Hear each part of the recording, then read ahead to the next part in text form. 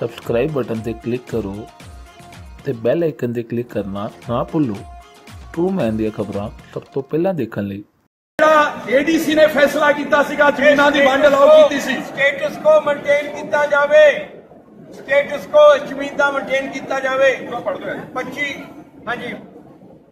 Meanwhile meanwhile private respondents are directed to maintain status quo recreation of third party rights in any manner in the suit land 25 April 2017 high court ਨੇ ADC ਦੇ ਉਸ bogus order ਨੂੰ stay ਕਰਤਾ ਇਹਦਾ ਮਤਲਬ ਹੈ ਕਿ ਰਾਣਾ ਗੁਰਜੀਤ ਸਿੰਘ ਨੇ ਜੋ ਰਜਿਸਟਰੀਆਂ ਕਰਾਈਆਂ ਗਿਰਦਾਵਰੀਆਂ ਚੇਂਜ ਕਰਾਈਆਂ ਉਹ ਗੈਰ ਅਸੀਂ ਕੀ ਮੰਗਦੇ ਸੀ ਸਪੀਕਰ ਸਾਹਿਬ ਅਸੀਂ ਕੋਈ ਗੈਰ ਕਾਨੂੰਨੀ ਮੰਗਦੇ ਜੇ ਕੈਪਟਨ ਅਮਰਿੰਦਰ ਸਿੰਘ ਅੰਗਰੇਜ਼ੀ ਚ ਕਹਿੰਦੇ ਨੇ drop of the hat drop of the hat ਇੱਕ ਕਾਂਗਰਸ ਦੇ ਐਮਐਲਏ ਦੇ ਕਹਿਣ ਤੇ ਇੱਕ ਵਿਜੀਲੈਂਸ ਇਨਕੁਆਇਰੀ ਲਾ ਸਕਦਾ ਤੇ ਕੀ ਆਹ ਜਿਹੜਾ ਐਡਾ ਵੱਡਾ ਕਪੜਾ ਹੋਇਆ, ਜਿਹੜਾ ਸੈਂਕੜੇ ਕਰੋੜਾਂ ਵਿੱਚ ਜਾਂਦਾ, ਰੇਤਾ ਬਜਰੀ ਔਰ ਜ਼ਮੀਨਾਂ, ਬੈਂਕਾਂ ਦਾ ਘੁਟਾਲਾ, ਕੀ ਕੈਪਟਨ ਅਮਰਿੰਦਰ ਸਿੰਘ ਜੀ ਵਿੱਚ ਹੁਣ ਕੋਈ ਬਕਾਇਆ ਕੋਈ ਰੈਲਿਟੀ ਕੋਈ ਐਥਿਕਸ ਕੋਈ ਉਹਨਾਂ ਦੇ ਵਿੱਚ ਬਕਾਇਆ ਕੋਈ ਬਚ ਗਿਆ ਵਾ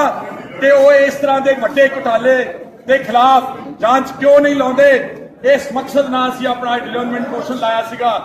ਅਸੀਂ ਕਿਸਾਨਾਂ ਦੀਆਂ ਆਤਮ ਹੱਤਿਆਵਾਂ ਤੇ ਜ਼ੋਰਦਾਰ ਦੁੱਖ ਦਾ ਪ੍ਰਗਟਾਵਾ ਕਰਦੇ ਹਾਂ। ਕੱਲ ਸਾਡੀ ਮੈਂਬਰ ਪ੍ਰੋਫੈਸਰ ਬਲਜਿੰਦਰ ਕੌਰ ਦੇ ਕਹਿਣ ਤੇ ਉਹ ਜਿਹੜਾ ਮਤੇ ਦੇ ਵਿੱਚ 70 ਕਿਸਾਨ ਆਤਮ ਹੱਤਿਆ ਕਰ ਗਏ, ਉਹਨਾਂ ਦਾ ਪਾਇਆ ਗਿਆ। ਅੱਜ ਮੈਨੂੰ ਬੜਾ ਦੁੱਖ ਹੋਇਆ। ਕੈਪਟਨ ਅਮਰਿੰਦਰ ਸਿੰਘ ਦਾ ਬਿਆਨ ਸੁਣ ਕੇ ਕਿ ਪੰਜਾਬ ਦੀ ਵਿੱਤੀ ਸੰਕਟ ਬਹੁਤ ਜ਼ਿਆਦਾ ਵਾ। ਪੰਜਾਬ ਦੇ ਸਿਰ ਦੇ ਉੱਤੇ ਬਹੁਤ ਵੱਡਾ ਕਰਜ਼ਾ ਹੈ। ਪੰਜਾਬ ਦੇ ਅਸੀਂ ਵਾਈਟ ਪੇਪਰ ਲਿਆਵਾਂਗੇ ਜਿਹੜੀ ਪੰਜਾਬ ਦੀ ਵਿੱਤੀ ਜਿਹੜਾ ਪੰਜਾਬ ਦੀ ਵਿੱਤੀ ਸਿਚੁਏਸ਼ਨ ਆ ਅਸੀਂ ਸਪੀਕਰ ਸਾਹਿਬ ਤੁਸੀਂ ਆਓ ਜੀ ਲਾਗੇ। ਸਪੀਕਰ ਸਾਹਿਬ ਦੇ ਕੁਰਸੀ ਲਾਓ ਲਾਗੇ। ਸਪੀਕਰ ਸਾਹਿਬ ਦੀ ਕੁਰਸੀ ਅੱਗੇ ਕਰੋ। ਲਾਗੇ ਕਰੋ ਲਾਗੇ। ਸਪੀਕਰ ਸਾਹਿਬ ਚੜ ਕੇ ਬਵੋ ਉੱਤੇ। ਉੱਤੇ ਬੈਠੋ। ਪੰਜਾਬ ਸਾਡੇ ਨਾਲ ਉੱਚੇ ਬਹਿਣਾ ਤੁਸੀਂ।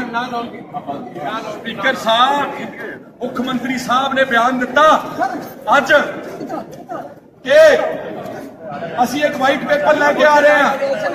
ਪਿੱਛੇ ਨਾਲ ਉਸੇ ਪੰਜਾਬ ਦੀ ਵਿੱਤੀ ਸੰਕਟ ਇੰਨਾ ਭਾਰੀ ਆ। ਪੰਜਾਬ ਦਾ ਵਿੱਤੀ ਸੰਕਟ ਇੰਨਾ ਭਾਰੀ ਆ ਕਿ ਅਸੀਂ ਐਂਬੂਲੈਂਸਾਂ ਨਹੀਂ ਦੇ ਸਕਦੇ।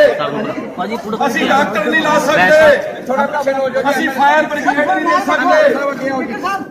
ਅਸੀਂ ਪਿੰਡਾਂ ਦੇ ਵਿੱਚ ਟੀਚਰ ਨਹੀਂ ਲਾ ਸਕਦੇ। ਇਹ ਕਿਉਂ ਕਿਹਾ? ਕਿ ਪੰਜਾਬ ਦੇ ਸਿਰ ਦੇ ਉੱਤੇ ਕਰਜ਼ਾ ਬਹੁਤ ਭਾਰੀ ਆ। ਸਾਡੀ ਪੋਜੀਸ਼ਨ ਬਹੁਤ ਮਾੜੀ ਆ। ਅਸੀਂ ਵਾਈਟ ਪੇਪਰ ਇਸ਼ੂ ਕਰਾਂਗੇ। ਔਰ ਭਰਾਓ ਸਪੀਕਰ ਸਾਹਿਬ। ਇਹਨਾਂ ਦਾ ਵਾਈਟ ਪੇਪਰ ਵੀ ਬੋਗਸ ਹੋਵੇਗਾ। ਸਪੀਕਰ ਸਾਹਿਬ। ਉਹਦੇ ਵਿੱਚ ਕੋਈ ਰਾਹਤ ਨਹੀਂ ਹੋਵੇਗੀ। ਔਰ ਮੈਂ ਯਾਦ ਕਰਾਉਣਾ ਚਾਹੁੰਦਾ ਕੈਪਟਨ ਅਮਰਿੰਦਰ ਸਿੰਘ ਜੀ ਤੁਹਾਨੂੰ ਚੋਣਾਂ ਵੇਲੇ ਵੀ ਪਤਾ ਸੀਗਾ ਕਿ ਪੰਜਾਬ ਦੇ ਸਿਰ ਦੇ ਉੱਤੇ ਲਗਭਗ 2.5 ਲੱਖ ਕਰੋੜ ਦਾ ਕਰਜ਼ਾ ਹੈ।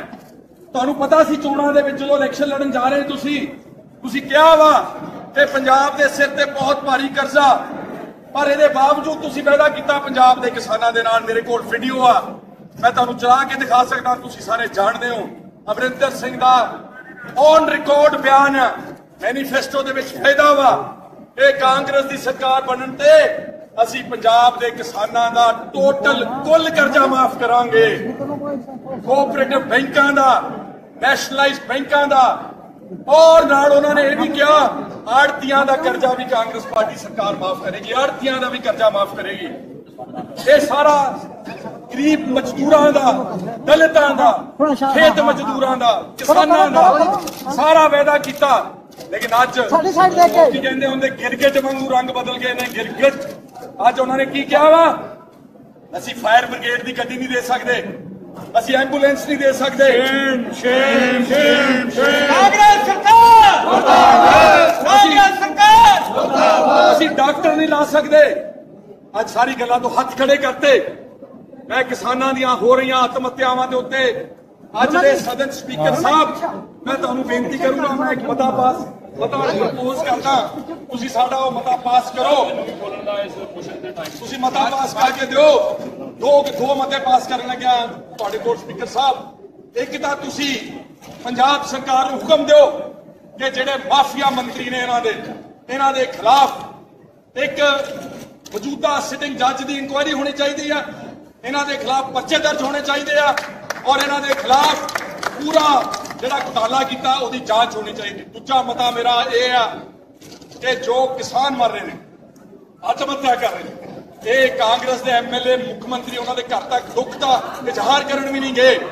ਇਹਨਾਂ ਨੂੰ ਡਾਇਰੈਕਸ਼ਨ ਦਿਓ ਕਿ ਅਗਲੇ 15 ਦਿਨਾਂ ਦੇ ਵਿੱਚ ਪੰਜਾਬ ਸਰਕਾਰ ਕਿਸਾਨਾਂ ਦੇ ਸਿਰ ਦੇ ਉੱਤੇ 1 ਲੱਖ 3000 ਕਰੋੜ ਰੁਪਏ ਦਾ ਕਰਜ਼ਾ, ਵਿੱਚ ਹੀ ਕਮਿਸ਼ਨ ਏਜੰਟਸ ਦਾ, ਵਿੱਚ ਹੀ ਨੈਸ਼ਨਲਾਈਜ਼ ਬੈਂਕਾਂ ਦਾ, ਵਿੱਚ ਹੀ ਕੋਆਪਰੇਟਿਵ ਬੈਂਕਾਂ ਦਾ ਇਹ ਕਰਜ਼ਾ ਜਿਹੜਾ ਵਾ ਆਮ ਆਦਮੀ ਪਾਰਟੀ ਦੇ ਤੇ ਲੋਕ ਇਨਸਾਫ ਪਾਰਟੀ ਦੇ ਐਮਐਲਏ ਤੁਹਾਨੂੰ ਫਰਿਆਦ ਕਰਦੀ ਕਿ ਪੰਜਾਬ ਸਰਕਾਰ ਨੂੰ ਹੁਕਮ ਦਿਓ। ਕਿ 15 ਦਿਨਾਂ 'ਚ ਕਰਜ਼ਾ ਮਾਫ ਕੀਤਾ ਜਾਵੇ। ਮੈਂ ਤੁਹਾਡਾ ਬਹੁਤ ਰਿਣੀ ਹਾਂ। ਤੁਸੀਂ ਉਸ ਪਖੰਡੀ ਸਪੀਕਰ ਵਾਂਗੂ ਨਹੀਂ।